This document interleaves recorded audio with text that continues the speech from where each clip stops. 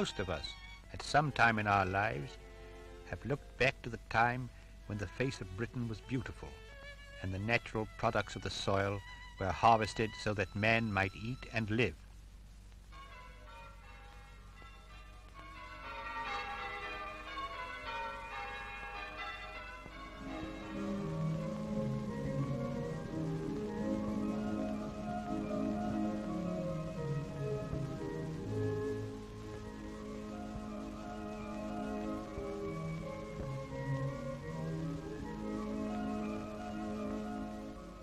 Most of us have longed for a return of that epoch of serenity when in the quiet villages each cottage and house stood in its garden in groups around the church.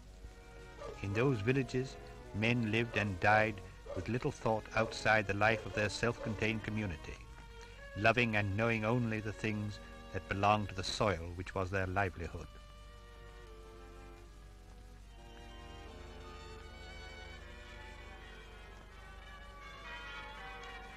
Exchange of goods, exchange of knowledge, makes a market town the center of activity. Products of the soil are exchanged for products of the town, and beneath the cathedral spreads out a maze of streets, alleys, and open markets.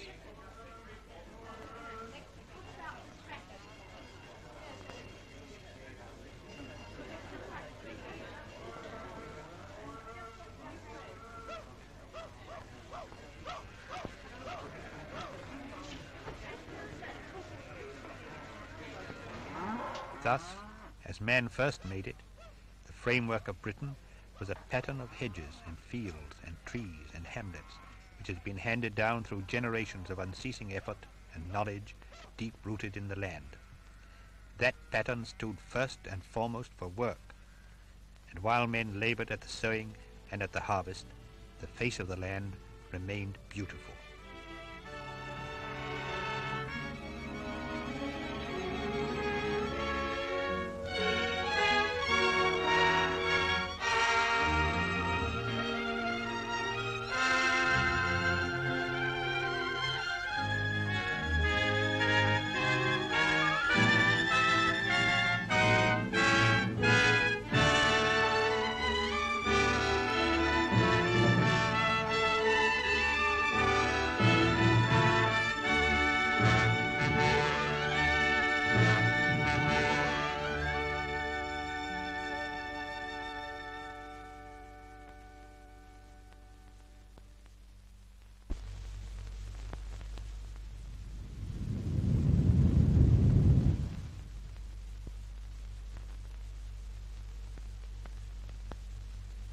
But under this lovely face of Britain, in six great regions, there lies coal.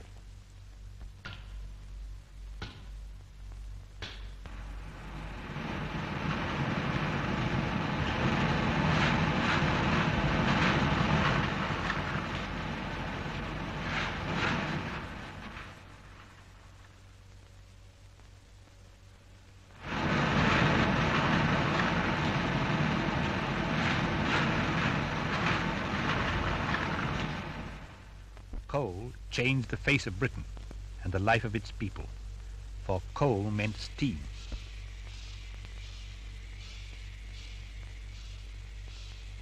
And steam meant power to drive the wheels of industry.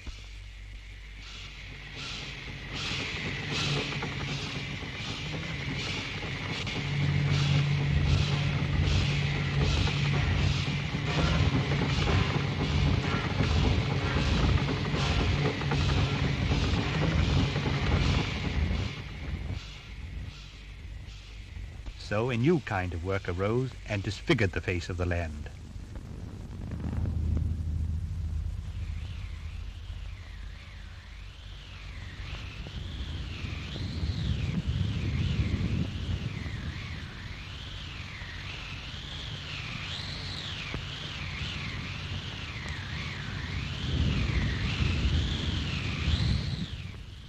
The sun was hidden behind the smoke clouds of furnace and factory.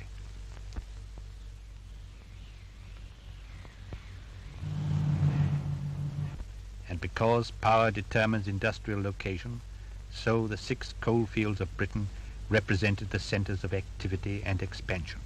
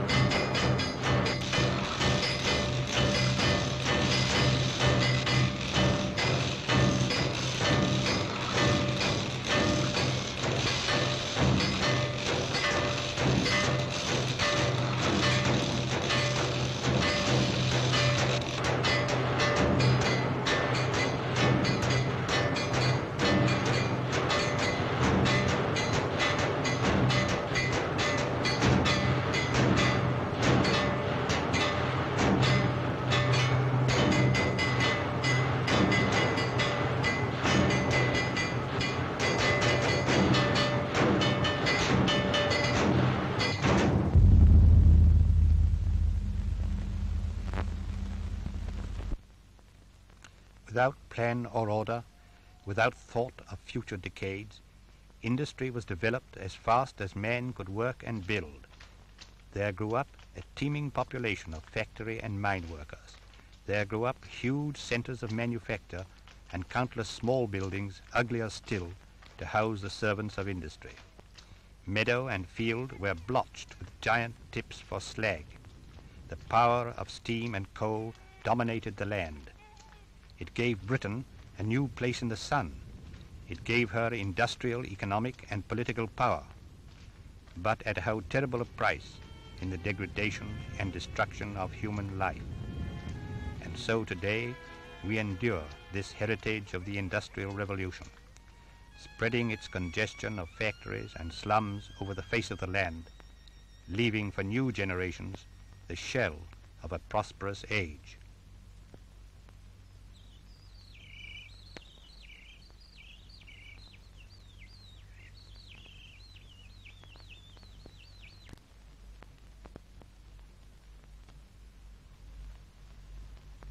But far from industrial chaos, in the mountains of the north, in pool and stream, in waterfall and lake, the source of a new power waits.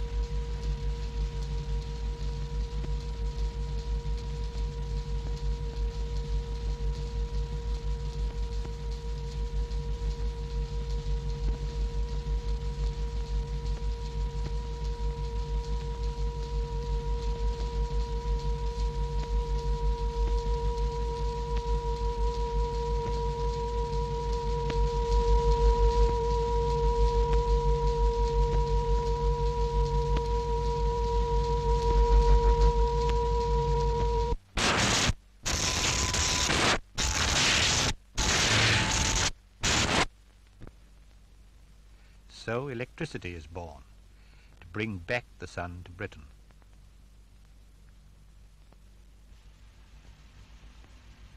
A nation plan is formed to carry power and light into the furthest corners of the land. Lochs are dammed to make giant reservoirs of energy. Waterfalls are harnessed, rivers diverted along new man-made channels, tunnels are bored, and aqueducts constructed so that turbines may turn to create the great new driving power and enable huge quantities of this energy to be controlled by one man.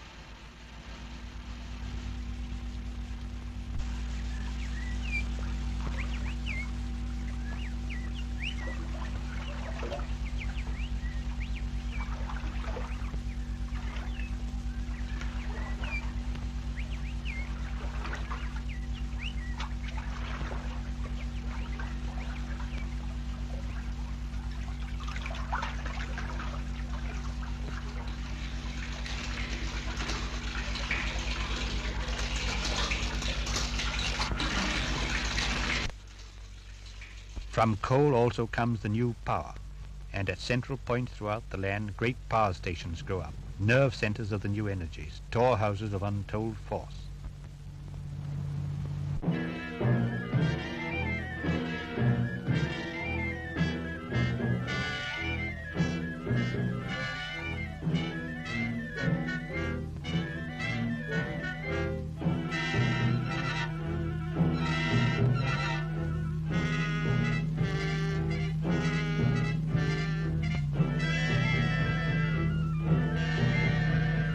From major points, the power is controlled, shifted from one part of the country to another, so that the needs of industry, agriculture, and the home may be kept supplied. Okay, we'll be ready. Hello. Brighton? Bankside here. You can ease off now to 15,000 kilowatts and hold it till I ask you to reduce again. Okay, I'll shut down number three set right away. From the sources of this energy to north, south, east, and west, the pylons carry their living load over mountains, fields, and rivers, never checking in their stride as they carry the new power to the waiting cities and the eager countryside.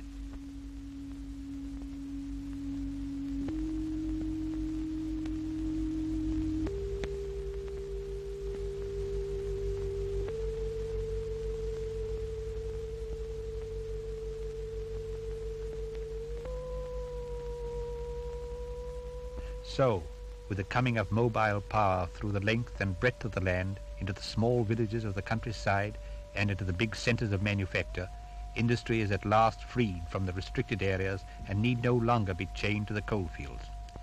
And the heavy smoke clouds of the past can be dissipated forever. But a plan for power is only part of a greater plan to make Britain a land designed for living, to make a new age possible great new world lies ready to be created. There is much to be done,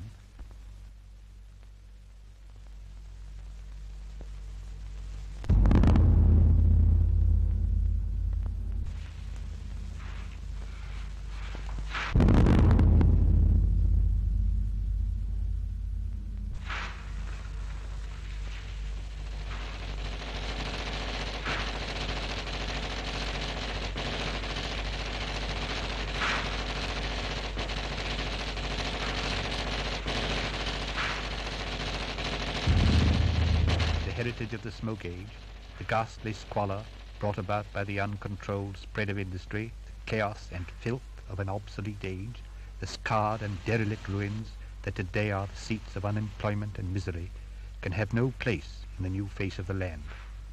Not only must slums be cleared, but we must see that nothing ugly takes their place. The new communities must be planned in whole and in detail, with a full understanding of the practical and cultural needs of a new society.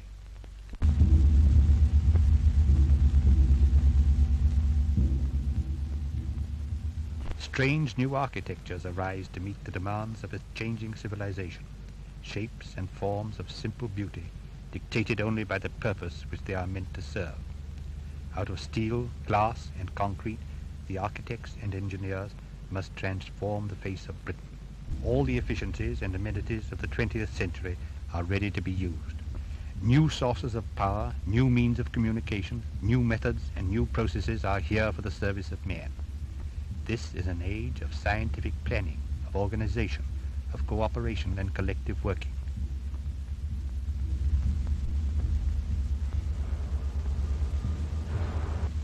Great new dwelling places rise up, replacing the old chaos of the slums, housing in cleaner, saner and healthier conditions the peoples of the cities.